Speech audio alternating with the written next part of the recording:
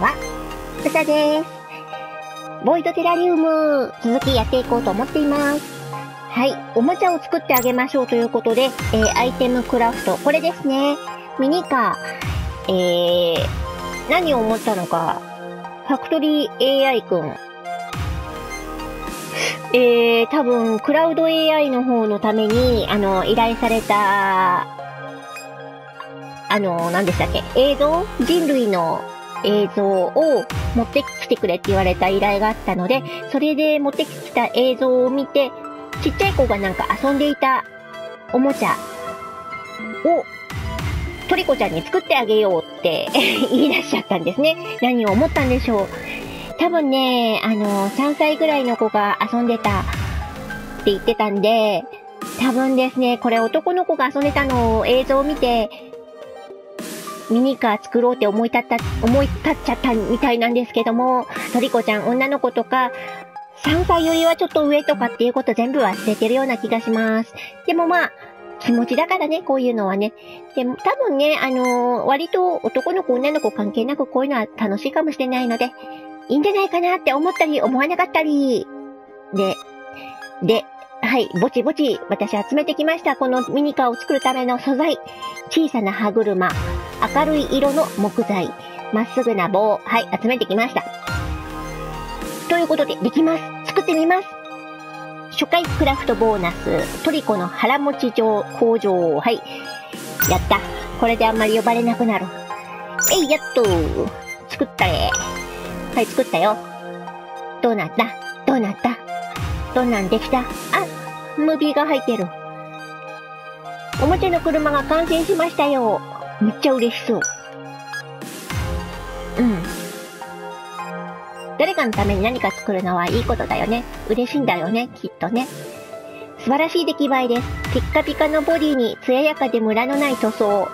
ええー、見る人のほとんどいない内装部分もシフトレバーやステアリングホイールを高精度で再現。そこまでする必要あった？丸みを帯びたフォルムはどことなくレトロな雰囲気を漂わせ、手触りとフィット感にもこだわりました。あんた何者だよ？そのドヤ顔なんだ。えー、モデラうん、うんとか言ってうなってるよ。うなずいてるよ。それに耐久性にも自信ありです。これなら喜んでくれるはず。つまり投げても踏んでも大丈夫。子供の遊び方容赦ないからね。いいかもしれないです。喜んでくれますかね？頑張って作ったんですけど、好みに合わなかったりとか、うん、その可能性は多少あるかもだけど、うー、不安です。そわそわしちゃいます。私もちょっと不安になってきたわ。心がざわつくよ、これ。で、でも私がうじうじ悩んだって何の利益にもならないですよね。いや、損得感情そこにあんまり関係ないと思うぞ。うん。早くトリコちゃんに渡してあげてください。あ、でもちょっと待ってほしいような。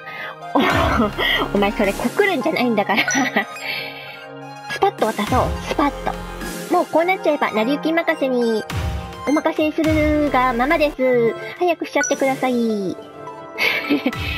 なんか、どんだけ、どんだけ、そんなに気持ちいっぱい込めなきゃいけないものかな？そんなことないでもだけど、あ、茨ができそうだけど、まあいいや。後でね。ミニカーどこ？ミニカーどこ？ミニカーどこ？今作ったばっか。あ、あ、あ、あおった、お、おった、おった。えっ、ー、と、これか。え、ちっちゃ ちっちゃいよ。えっ、ー、と、えっ、ー、と、どこに置こうかな？もうちょっと前に出そうか？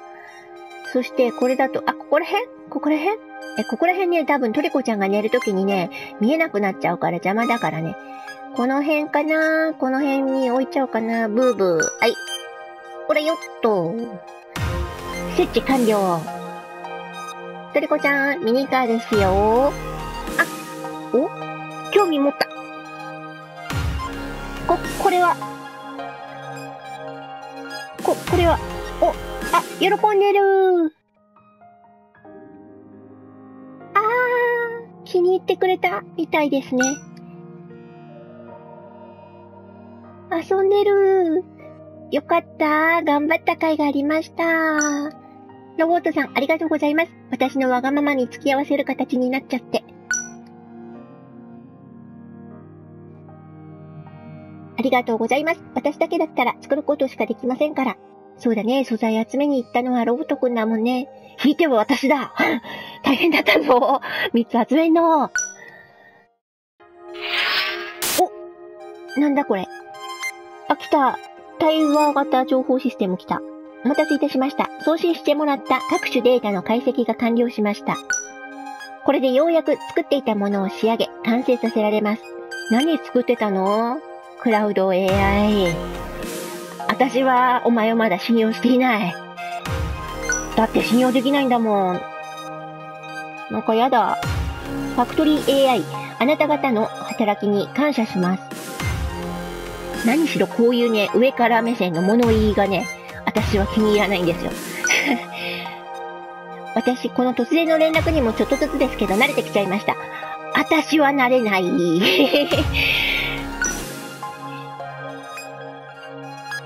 そうですか。それは良いことです。決して良いことではないんですけど。それはさておき、次は生体保護ジェルの生成をお願いします。生体保護ジェル。ほら、まだなんか気持ち悪いのなんか作らそうとしてる。何？生体保護ジェルって、生きた体をそのままの意味で捉えるならば保護するジェル。何それ？必要なレシピをお渡しします。生成後、そちらにあるコンテナを生体保護ジェルで満たしてください。コンテナの中にそのジェル入れるの？なんかやだー。もうやだー。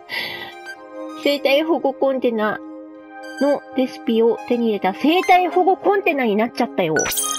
えー、や、や、や、嫌な感じだ。何作るの？これ。そのコンテナが最後のピースです。生体保護ジェルを満たすことでコンテナ筐体は完成し、新たな赤子を育むための人工子宮として復興装置の核を担うのです。人工子宮。出た。嫌な言葉。だってさ、だってさ、前の私の放送の方を、あの、見返していただけると助かるんですけれども、このクラウド AI に頼まれたものの中に、その、接触機能の、えー細胞の X と Y を取ってこいって言われたんですよね。細胞 XY って確か、そう、あのー受精のやつだよねって思って聞いてて、なんかこの人類復興って聞いた時から嫌な予感しかしてなかったのってそこなんだと思うんですけど、は、やっぱり作ってたコンテナ、人工子宮え？やだ、なんかそのカプセルの中で、コンテナの中で、つまり受精をさせて、人類作っちゃおうとしてるってことですよね。なんか、なんかすごい、やっぱり嫌な感じになってきた。うーん。な、なんかでももう、しょうがないんだろうな。生体保護ジェルの生成には綺麗な真水が必要になります。うん、うん、うん、うん。用水的な形の意味になるのかな？しかし、むやみに探索したところで、この汚染された世界では発見することは困難でしょう。まあ、多分全部汚染された水しかないってことでしょうどうするんだろう？海洋プラント。未汚染の真水が残っている可能性が最も高いと推定される場所です。海洋プラント？当該地の座標を送っておきました。私は復興準備を引き続き進めますが、どうかお気をつけください。当該地へのルートは複雑回帰です。あなた方の健闘を祈ります。願わくば進む道を誤らんことを。進む道を誤ると、やばいってこと？ゲームオーバーっていうこと？うん。じゃなくてなんかもっと深い意味でと捉えちゃったりしそうな私もいるんですけどね。進む道ってなんかルート？ストーリールートがなんか変わってくるとかそういうことなのかなとか思っちゃったりするんですけどね。てんてんてん。おー。嫌な感じだったーむむ、クラウド AI さんもかなり忙しそうですね。海洋プラントですか？そこで綺麗な真水を手に入れられれば、入れれば、さ、ついに最後ですね。最後ですかね。最後なのかな？はあ、生態保護コンテナを作りましょう。なんか、いわゆる人工子宮ってズバリ言ってくれちゃって、もう嫌な感じしかしないんだけども、仕方ない。言われたからには作るしかないんだろうな。嫌な感じだけど、あれ？ご飯食べる気全くなし？あれ？食べる気なしだね。これ食べ物持ってくるとあげるって出るんだけど、出ないね。ミニカーに夢中です、トリコちゃん。かわいい。かわいいけどね。うん。ご飯食べてくれないと知らないぞ、お母さん。もう出かけちゃうからね。お母さんね。お母さんだかロボットだかなんだか知らないけど。はい。来ました。新しいの追加されてます。海洋プラント。シナリオ目標。綺麗な水の入手。えー、海洋プラント。汚染された海水を除染する研究が行われていた区画。ってことがあれか。人類もそうそう簡単には滅ぼされなかったんだね。この汚染キノコの細胞で汚染が始まった時に多分ね、生き残った人とか、まだ滅びきってない人たちが頑張って抵抗しようとした跡があったんだろうね、ここには。ということで海洋プラント行ってみましょうか。ダンジョンに出発とか言うとなんかね、なんか、良くない人みたい。うわー。音楽綺麗綺麗ちょっと聴いてたくなる音楽だな、これ。ほんと何って、あのこれから戦いに行くわけなんですけど、このボイドテラリウムは音楽が綺麗なんですよね、どれもこれも。ダンジョンの音楽とかかっこよかったりもしますし、音楽がとにかくいい。BGM 集、求む。えー、日本一ソフト、ソフトさん。よろしくお願いします。言えてない。ほうほうほうさあ、どんどこ進んでいってみましょう。海洋プラント GO! さあ、次、これ。普通の思うんだけど、これゲート、下に行くことはできるけど、上に戻ることはできないんだよね。一方通行なのね。と考えるとエレベーターとはちょっと違う気もするし、うわ、すごいいっぱいおる。あ、そうでもなかった。いっぱい、い、いいっぱいだな。ピーン。うわ、うわ、いきなり、いきなり出たか。叩いても叩いても次から次へといっぱい出てくるな。敵の前に読んで。並べ。順番に来いタイマンジャー終わ終わった。終わった。鉄球。鉄球装備。今んとこあと装備できそうなのないな。うわ。あ全部取れた。わお。わお。モンスターハウスの音楽は相変わらずノリがいいな。ピピピピピピピピピ。ピピピピピピピピピピピピピピピわあ何これ強そううわいった一撃だったけどないや、でもなんか怖い。外見が怖い。うわぁ。うわぁ、ブワーとか言っちゃった。リペアキットエース取れない。液漏れバッテリー使っとこ。うわぁ。ゴキさんがいた。ゴキさん、あ、もうはいや。牛もいた。お久しぶり。牛。新しいダンジョン入ったら、牛いなかったもんな。なんか久しぶりに見た気がする。あ、これ行けないんだ。ここまでか。うわ、一方通行。ゴキブリも戻ってきたわけだわ。ムシムシ。でもあっちに帰んなきゃいけないのか。大変だな。わ ゴキブリをやり過ごしてしまった。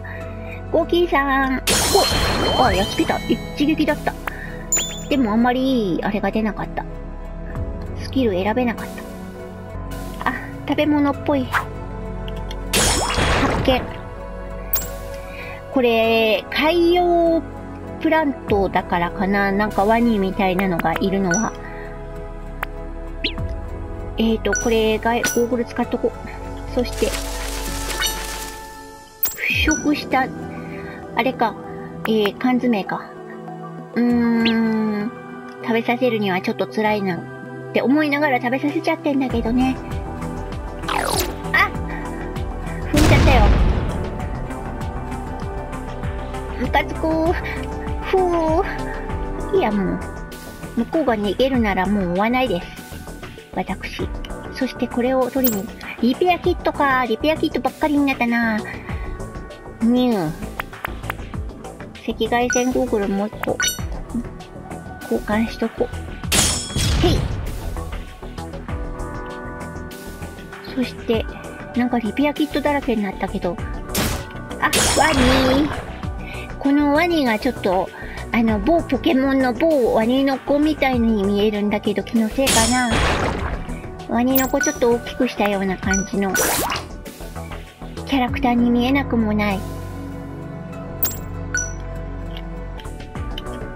これは興奮剤か。興奮剤やったら出るな、ここ。そういうもんなのかな。でもここで今使っちゃうと、多分、ここが、あの、いきなりモンスターハウスになって大変なことになるような気がする。でも、レベルは上がるんだよね。そこの魅力には勝てないな。使っちゃおうかな。使ってみよっか。使ってしまえ。てい。はい、モンスターハウス。はい、いらっしゃいませ。はい、一列に並んでね。みんな一列にね。順番順番。一匹ずつ、ほふってあげるからね。ほう、ほう、ほう。お、あ、あまりいいのが出ないな。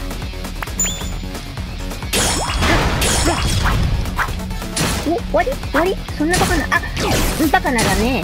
いっぱいいるね、まだね。私がバカだったね。ひょえーん？わあ、なんか撃ってくる撃ってくる。遠くから撃ってくる。あいつはダメだ。あいつはダメだ。したらお前は許さん。そう、お前も許さん。お前も許さん。うわ、大変なことになってる。わ、これ死ぬかもしんない。死んだらちょっと、元も子もねえな。よ、よ、よ、よ、よ、よ、よ、よ。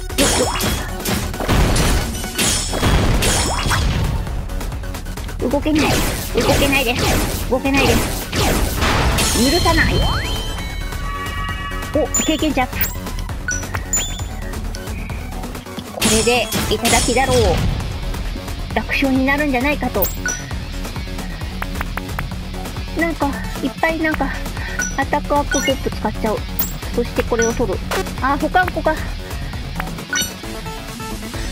保管庫が、さらに。あ、なんか、これは寝 てしまった。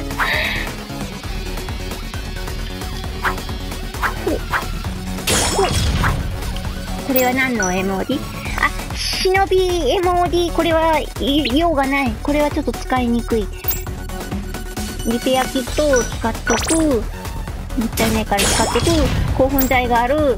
興奮剤を、これは、また使うとあれだから、死んじゃうから、うーん、反射 MOD と交換しちゃおう。で、ああ、ギリギリギリギリギリギリギリギリ。ギチギチ、ギチギチ、ギチギチ、ギチギチ。動けないだす。もう、片っ端からいろんななんかあれに引っかかってないからぞ。これは何？静音キット。入室や隣接でモンスターが起きない。おグリッチ。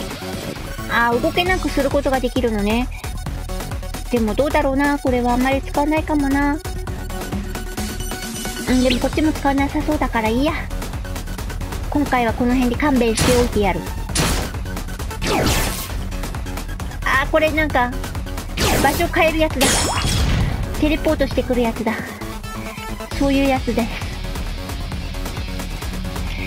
せっかくだからこれはあれかな一通り、だいたいこう出てくるべき敵が全部片付け終わったら、もう一回くらいモンスターハウス作って、終わらすのも、終わらすというか、レベルを上げまくるのも、ありっちゃありな気がする。えーと、所持アイテムいっぱいだな。使ってからこう。寄せ集めの苔。ちなみにこの寄せ集めの苔はトリコちゃんあまり好きじゃないんですよね。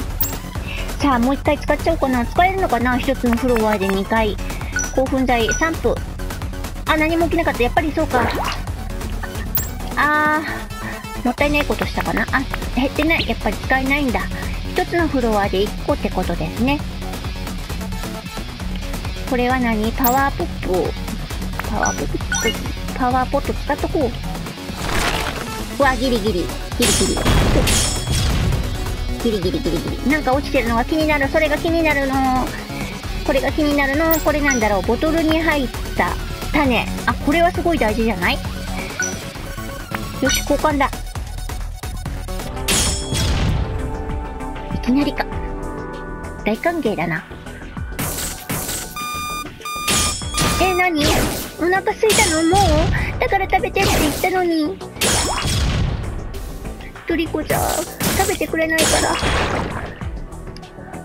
あ、やり過ごしちゃった。自動回復、アップ。プロビデンス使っとこうか。い、うわぁ、広い。マップ広いわ。どうせ集めの苔だった。トリコちゃんがあんまり好きじゃない食べ物ですね。なんか今逃げてったよ。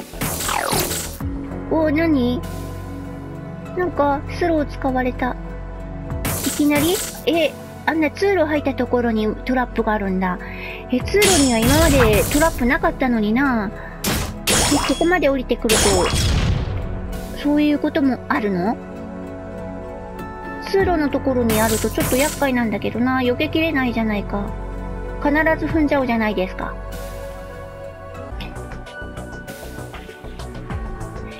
えー、マイティ欲しい。マイティは欲しい。欲しいので、うん。じゃあ、バッテリーを使ってしまって、マイティを拾う。そして、わ、ひどい目にあった。ゴキブリをついたらひどい目にあってしまった。お、やった。混乱しまくっとる。あ、まだ後ろ見だ。ぴったり張り付いてる。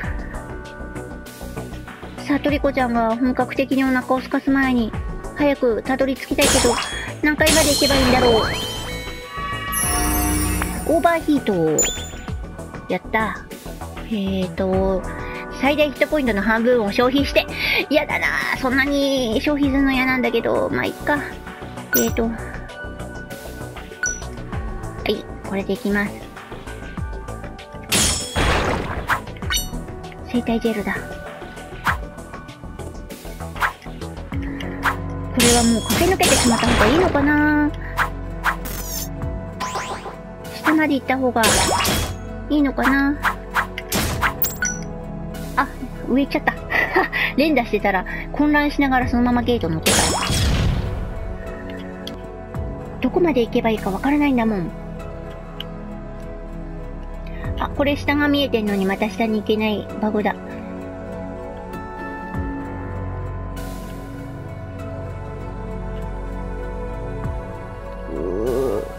なんか静かだな。敵がいない。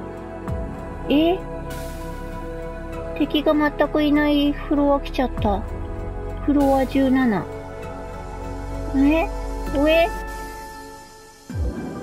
ええー、でもなんか、全然いない、本当に。広い、しかも広い、複雑。どこまで行けばいいんだ、これ？なんか一個だけ落ちてる。ん？あった、綺麗な水。あ、フロア17に落ちてる。これで終わりかなじゃあ。じゃあこれで綺麗な水を拾って、これで終わりかなこのフロアは。あ、でもなんかまだ先に進めちゃう。進むの？あ、進めるね、まだ。そろそろ戻んないとだよね。もうこれはお掃除スキルをしてから、テラリウムに戻ります。はい。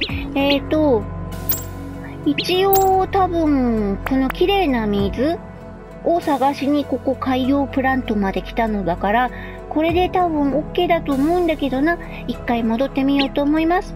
はい、いっぱいなんかゲットしてきました。ジバーク。かわいそうに。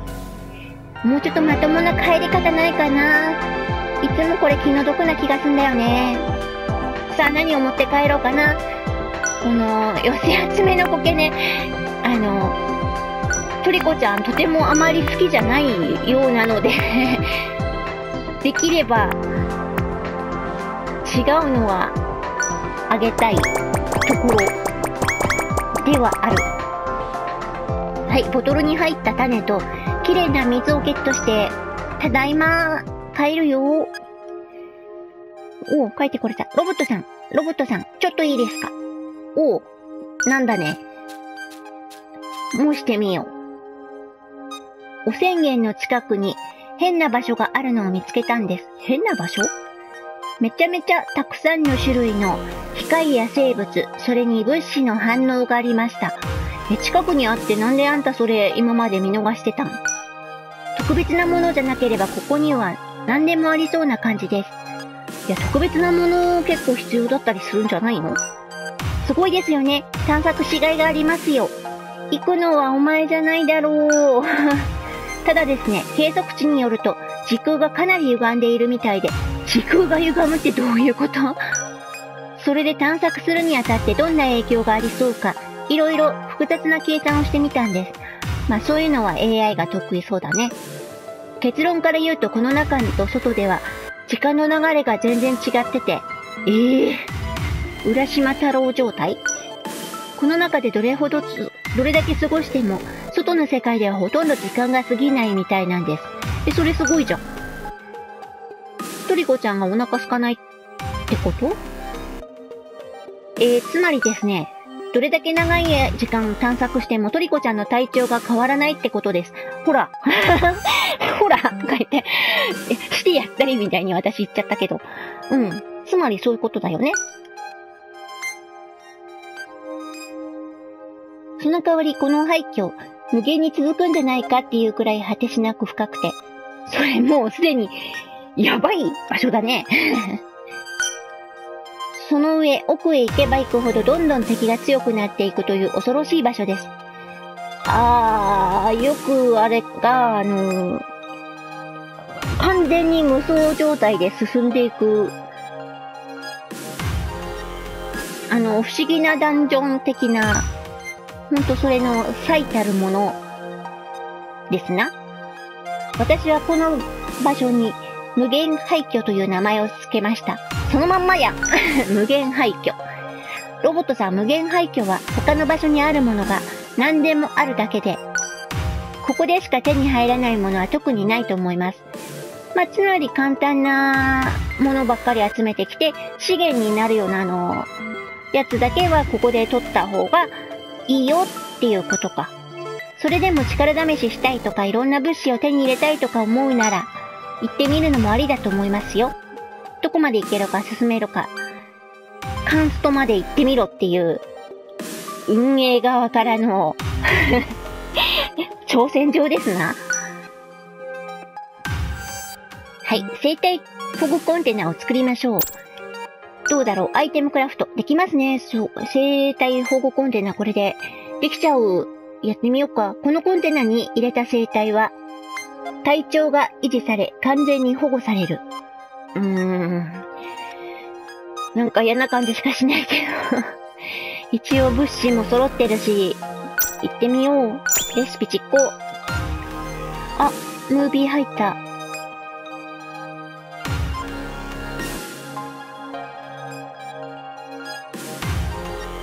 生体保護ジェルが完成しましたよ。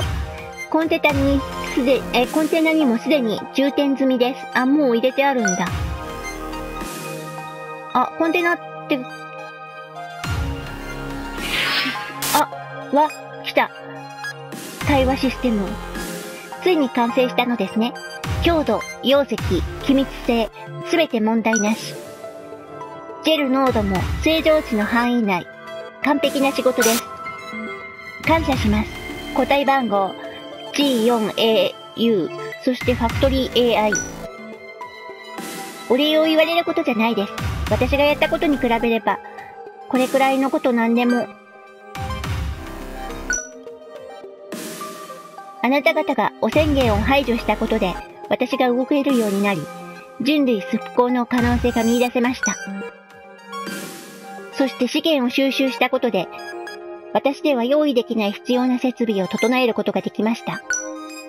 あなた方の協力がなければ、ここまでたどり着くことは決してありませんでした。あなた方に感謝を。私に対応可能な範囲であれば、何事を差し置いても報いましょう。おー。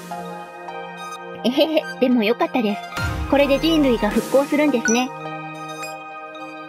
ええ、それでは最後の作業をお願いします。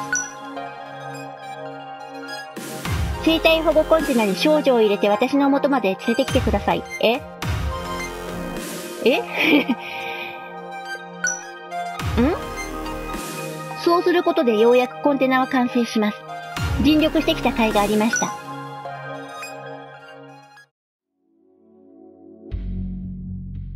え？え？ってなんか、ファクトリー AI も同じこと言ってる。え？トリコちゃんをコンテナに入れる？さすがにロボットも困惑してる。ええ。ちょ、ちょっと待ってください。コンテナは人類復興計画に使うんじゃ。そうだよね。私もてっきり生殖細胞の X と Y 取ってきたから、それを、あの、受精みたいにして掛け合わせたのを、その、コンテナに入れて、あのー、まあ、人工受精の機械みたいにして使うのかなって思ってたんだけど、え、生きてる人間入れちゃうの？生きてるんだよ。えトリコちゃん生きてんのに、トリコちゃん入れちゃうって、ジェルを満たしてある中に？ええ、そうですよ。おっしゃる通りです。どういうこと？じゃあなんでそこにトリコちゃんが出てくるんですか？人類復興とトリコちゃんに何の関係が？だから奇跡だと言ったのです。ほぼ純粋な人の形を保つ少女が、現世界で今だ生存していたことが。いや、いやいやいやいやいやいや。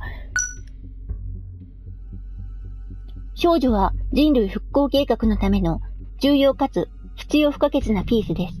彼女がなければ計画は成り立たない。いかんせん未成熟な個体ですが、生殖を行わせるには、最低限の機能は満たしている。え？未成熟な個体、うん、まだ幼女だもんね。でも生殖を行わせるにって、トリコちゃんに子供を産ませるってこと？え？えラックブラックな話になってきたな。ちょっと待って。少女が汚染されればされるほど、肉体、遺伝子は変質を起こし、後に生まれる人類のリスクとなる。でももう体キノコ生えてんじゃん。目とか、頭とかから。え？リスクってそんな。人体改造も遺伝子適合手術も行われてない人はおそらくこの世界で最後のものでしょう。人体改造とか遺伝子適合手術ってそんな当たり前のように行われてるのこの世界。木を逸することはできません。もはや猶予はないのです。汚染による変質だけは避けねば。ご安心を、ファクトリー AI。私はこのために準備を続けてきました。あなたが、え、なんか、なんとかする人類の復活。それは成し遂げられるでしょう。まあ、あなたって文字が女なんだけど、ファクトリー AI って女性的な方なのかな？まあそこはいいや、ともかく。私はクラウド AI、人類復興のために作られた AI、そして多くの祈りを託されたもの。何、神にでもなったつもりなの？この人。この人っていうかこの AI。人々から聞き届けた人類の復興と救済の願いを叶える。そのためだけに私はあるのです。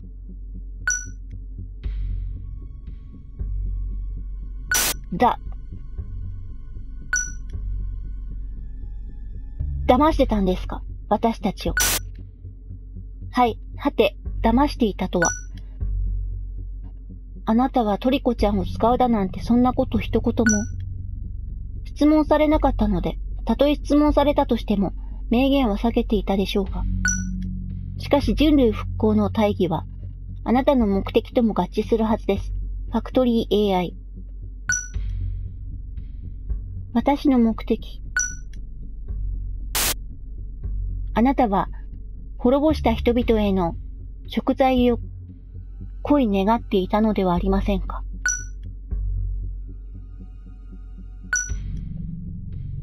おめでとうございます。ファクトリー AI。その願いは叶えられる。人々を滅ぼしてしまった過ちを償いたいという、あなたの願いは叶えられるのです。私も、このお世話ロボも、人々のお世話という生まれ持った本会を遂げられる、素晴らしい結末です。そしてこの木を逃してはもう叶えられない結末です。それを理解すれば選択肢は一つしか存在し得ないはず。私はそんなつもりじゃ。ファクトリー AI。現世界にあなたがまだ存在している意味は、このためにあったのです。少女をコンテナに収容するのは、彼女の健康状態が良好な時にしてください。体内汚染をできるだけ低く、それに空腹状態ではないことが望ましいです。それでは良き日々を、願わくば進む道を誤らんことを。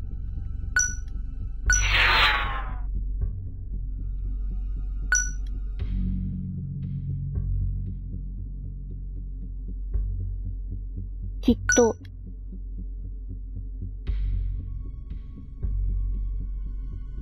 きっと正しいことなんですよね。クラウド AI さんの言うことは。私は何かを入れる立場には、ないです。私ロボットさんと出会って、トリコちゃんを世話するようになって、いろんなことが分かったんです。トリコちゃんが元気ならとっても嬉しいし、調子が悪いようなら、もにょってするんです。今だって本当は心配で。でも、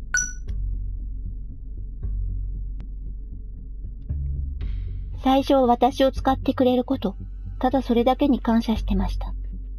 相手は誰でもよかったんです。それこそトリコちゃんでも、ロボットさんでも。でもトリコちゃんは私とロボットさんが一生懸命頑張っても死んじゃいそうなくらい弱くって。せっかくまだ動けるんだから。私も機能を停止する前に、できるだけのことをしたい、しないとって。そうやって何かトラブルがあっては、ロボットさんと一緒に切り抜けて。そうするうちにトリコちゃんにもっとよく生きてほしいって思うようになったんです。そう思うようになってようやく気づきました。トリコちゃんと同じように、いろんな人が生きていて、こうした思いもたくさんあったって。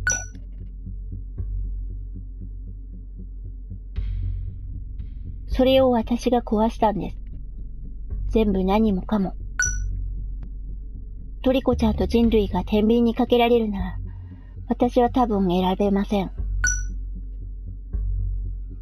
準備を進めましょう、ロボットさん。私たちには迷ってる時間もないみたいですから。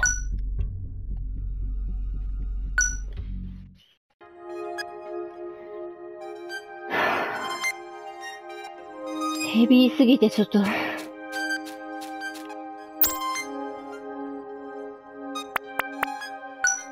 つまりなんだ？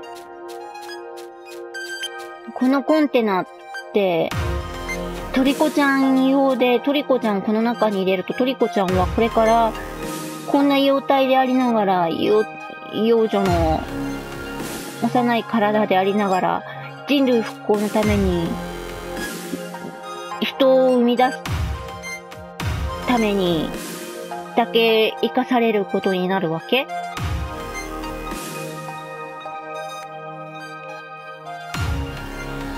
まあ、新しい次からの人類の一番最初となるならば、なんかアダムとイブのイブみたいな形？でもそれにアダムみたいな相手がいるわけでもないわけでしょ？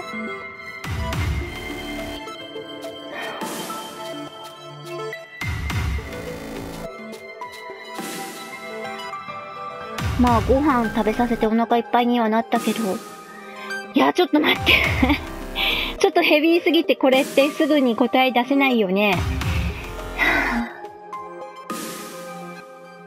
わー、こういう選択肢迫られるの？え、なんかちょっと待って。このまま進んだらもうこのトリコちゃんをこのコンテナに入れることになっちゃうのかな？なんかこのファクトリー AI に喋りかけたら進んじゃいそうだよね。